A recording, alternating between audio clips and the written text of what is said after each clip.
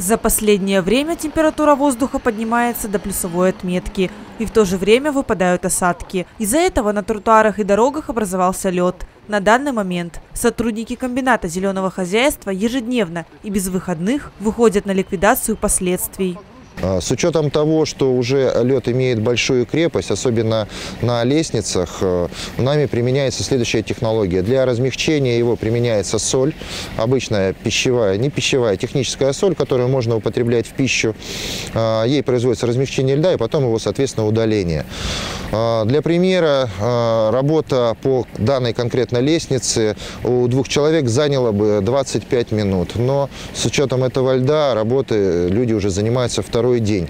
Также специалисты очищают тротуары. Сложность заключается в том, что они узкие, и загнать тяжелую технику не получается. Поэтому оставшийся лед выравнивают, обрабатывают специальными материалами. Работать сотрудники организации будут до тех пор, пока не очистят город, рассказал Алексей Гаврилов.